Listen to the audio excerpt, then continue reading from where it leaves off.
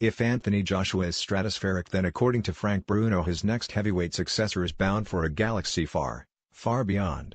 Bruno, probably the most loved human being in Britain during the 1980s and 90s, believes that Daniel Dubois is soaring towards fame even greater than Joshua is enjoying now. Dubois is chewed following in Joshua's golden Olympic footsteps by withdrawing from the GB squad for the 2020 Tokyo Games in order to turn professional. After seven straight knockouts to start his paid career, Bruno says of him, I think Daniel will be bigger than AJ Big Frank has been watching Dubois work under trainer Tony Bowers at the Peacock Gym in Canning Town, East London and says, he is a very, very good prospect and only needs to stay on his game, focused and hungry.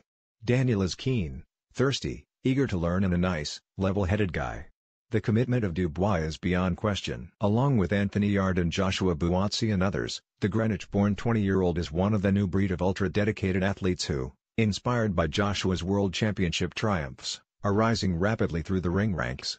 Bruno, as the fans love to chant, had to wait until near the end of his career before finally winning his longed-for world title by stopping Oliver McCall at Wembley Stadium in 1995. Now in virtually full recovery from depression, Bruno is following the fight game closely. When Dubois turned pro he dreamed about becoming the youngest world heavyweight champion.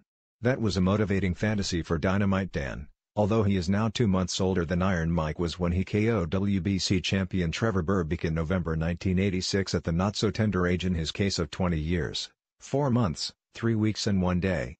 Dubois is on fast track to be the youngest British heavyweight champion. In recognition of maturity beyond his years, the Board of Control are ready to waive their regulation forbidding any boxer under the age of 21 from challenging for a British title.